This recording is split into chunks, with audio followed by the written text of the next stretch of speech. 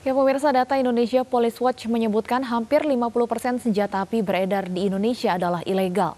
Data itu sungguh mencengangkan, apalagi soal kepemilikan senjata api ini sudah diatur oleh undang-undang.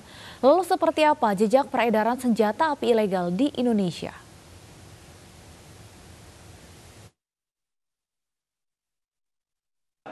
Jejak peredaran dan penyelundupan senjata ilegal di Indonesia mulai marak ketika terjadinya konflik di beberapa daerah di Indonesia seperti Maluku, Aceh, Poso, dan juga Papua. Pada tahun 2006, kelompok-kelompok pemberontak antar negara terlibat penyelundupan senjata ke Indonesia. Mereka adalah kelompok Abu Sayyaf, Gerakan Aceh Merdeka, dan Moro Islamic Liberation Front.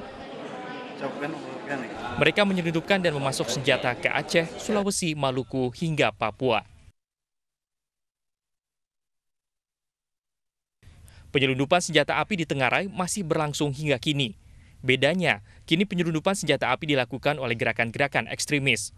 Mantan Kepala Badan Nasional Penanggulangan Terorisme, Inspektur Jenderal Ansyat Bay menuturkan, jika pasukan senjata kepada para ekstremis saat ini dipasok dari Filipina. Maraknya peredaran senjata api saat ini juga tidak luput dari munculnya industri pembuatan senjata api rakitan yang ada di beberapa tempat di Indonesia. Sentra pembuatan senjata api rakitan itu salah satunya adalah di Cipacing, Jawa Barat. Jika merujuk pada aturan, persyaratan memiliki senjata api memang begitu rumit. Selain itu, uang untuk melakukan pembelian senjata pun bukan dalam jumlah yang sedikit. Diperlukan pengawasan ketat dari penegak hukum untuk menekan peredaran senjata api ilegal di masyarakat. Apalagi menurut data Indonesia Police Watch menyebutkan hampir 50% persen senjata api beredar di Indonesia ilegal. Tim Liputan iNews memberitakan.